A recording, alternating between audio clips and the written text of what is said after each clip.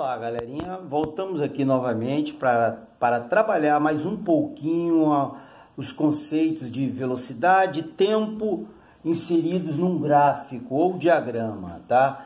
Então vamos trabalhar aqui alguns conceitos que mais tarde, com a tua evolução na matemática, na parte de álgebra, você vai aprender outros conceitos que pode, poderão ser trabalhados aqui tá? Já visto que nesse momento aqui a gente está trabalhando, por exemplo, com uma função do primeiro grau. Toda reta é representada por uma função do primeiro grau. Então eu tenho aqui três, três segmentos de reta. Ó. Um, dois, três. Então isso significa aqui, significa dizer que eu tenho ali três funções do primeiro grau. Mas não vamos mergulhar nesse momento agora, nesses conceitos não. Vamos falar só de velocidade e tempo.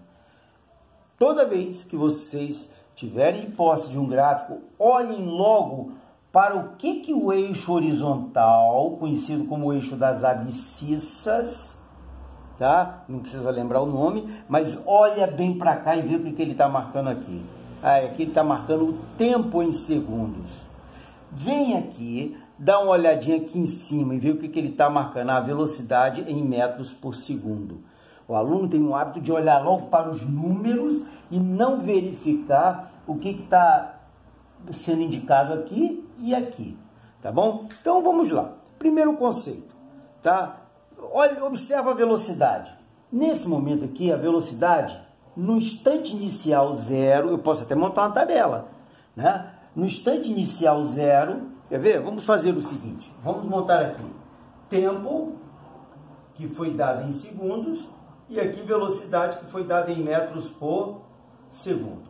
Aí a gente começa aqui devagarzinho a registrar, ó. No tempo zero, qual era a velocidade dele? Ó, no tempo zero, qual era a velocidade? 10. 10 metros por segundo. Ah, o tempo passou 4, no tempo de 4 segundos. Qual era a velocidade? Aqui não foi indicada, mas vamos, vamos procurar colocar umazinha aqui, uma velocidade aqui qualquer, 20. Pronto. Ah, então no tempo de 4 segundos a velocidade era 20. 20 o quê? Metros por segundo. Repara bem, o tempo passou no instante de 8 segundos. Qual era a velocidade dele? Continuou 20. E assim vai, no tempo de 10 segundos, qual era a velocidade dele? Zero, parou. Então olha só, todos os dados que eu tenho aqui, eu poderia construir muito bem a minha tabela, ó, tá aqui.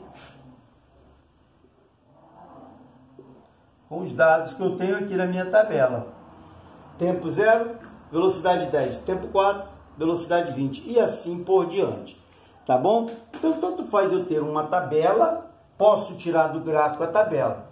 Eu, galerinha, eu prefiro olhar para o gráfico. O gráfico já me dá uma sensação melhor dos conceitos de velocidade aqui. Por exemplo, vamos lá. Primeiro conceito. A velocidade aqui está variando. Ah, então eu tenho no ponto, no setor A, no trecho A, que vai de zero a 4 segundos. O que, é que eu tenho aqui? Um movimento uniformemente variado. Ora, uniformemente porque é uma reta, vai variando de maneira uniforme. Ah, e se fosse uma curva? Ah, já não seria uniformemente variado. Tá? Então eu tenho aqui uma velocidade crescente e detalhe, se a velocidade é crescente, eu posso indicar aqui também que eu tenho um movimento uniformemente variado acelerado. Isso quer dizer que tem aceleração. Já no trecho, e a gente pode calcular, tá? Ah, como é que eu vou iria aqui, professor, calcular a aceleração aqui? Ora, aceleração não é variação da velocidade pelo intervalo de tempo? De quanto a velocidade variou aqui, ó? De 10 a 20. Está aqui a variação da velocidade, ó, o delta V. Foi de 10 a 20, então variou em 10. Em quanto tempo, professor? Em 4 segundos. Então, olha só, aqui eu tenho 2,5 metros por segundo ao quadrado. Reparou como é que eu, como é que eu calculei a, a aceleração, que é o delta V sobre delta T? Eu poderia aqui ter dito para você que eu calculei a aceleração usando os conceitos de matemática, lá da trigonometria, né? aquelas coisas de tangente, papapá, mas não vou entrar, não vou nem mexer nesse vespeiro agora. Olha bem, se eu já conheço a fórmula da variação da, da velocidade, ou seja, a aceleração é ΔV sobre ΔT, ΔV eu procuro aqui, ΔT eu procuro aqui. Olha o ΔV de 10 a 20, olha o ΔT T de 0 a 4. Então, nesse trecho tenho aí. Vamos à letra B. Letra B não, ao trecho B do movimento, que vai de 4 a 8 segundos. Repara bem. 4 segundos a 8 segundos. O que, que eu tenho aqui? Um, o carro está parado? Óbvio que não. Está parado quando ele tem velocidade zero. Aqui ele está com velocidade de 20 metros por segundo. No instante 4. No instante 5, 20 metros por segundo. No instante 6, 20 metros por segundo. No instante 7, ah, então de 4 a 8 segundos, a velocidade dele manteve-se constante. Ah, a gente tem aqui um movimento uniforme, mas não é variado como esse. Olha a diferença, ó. Variado, a velocidade foi, ó, variando de 10 a 20.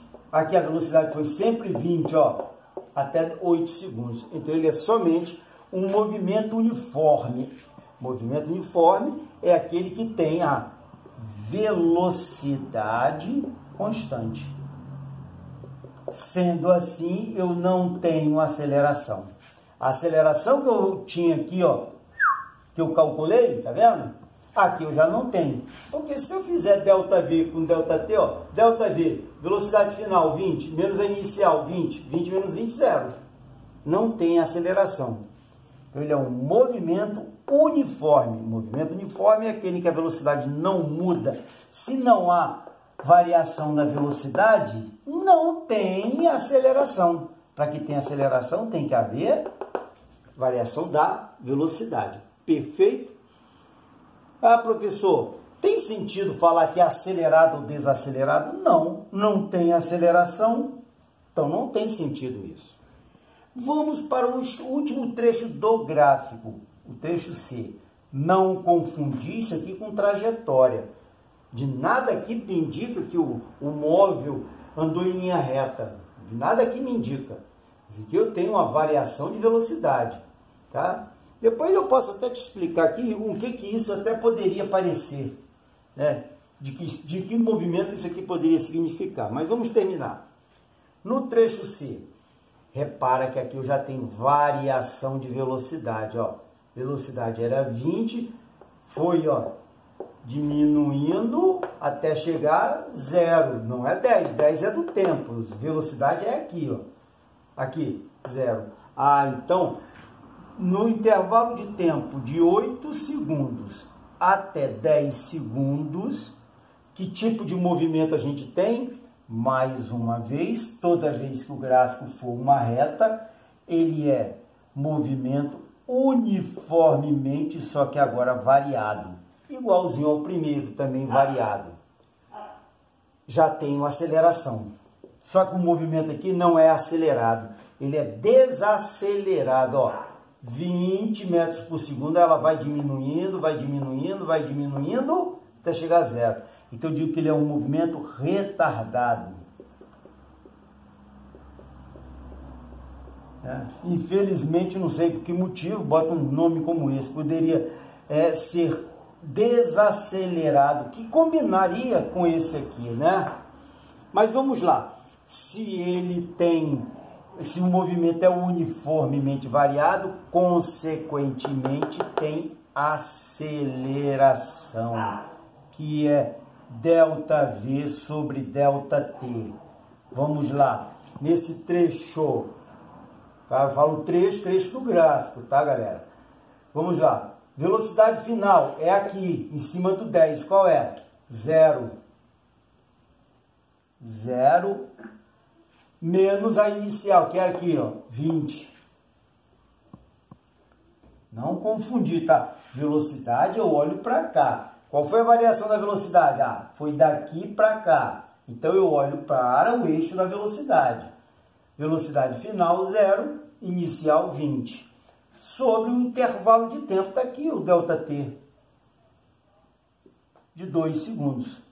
Tá? 10 menos 8. Aí aqui então, ó, vai dar menos 20, menos 20 dividido por 2, menos 10 metros por segundo ao quadrado. Então repara bem aqui, ó. O sinal negativozinho apareceu porque, ó, tá? Isso mostra que o movimento é desacelerado. Repara que o módulo módulo dessa aceleração aqui é maior do que o dessa daqui, tá bom? Então, olha só quantas coisas a gente trabalhou aqui, né? O tipo de movimento, tá? O tipo de movimento e também o cálculo das acelerações, com exceção desse aqui que não tem aceleração. Tá bom, galerinha? Finalmente, eu vou, quero te mostrar agora um outro conceito, né? que é o conceito de como calcular nesse gráfico VT, que é conhecido como gráfico VT, velocidade tempo, como calcular o deslocamento. Né? Tá bom? Vamos lá, presta bem atenção. Deslocamento é o ΔS. Como é que eu posso calcular esse ΔS?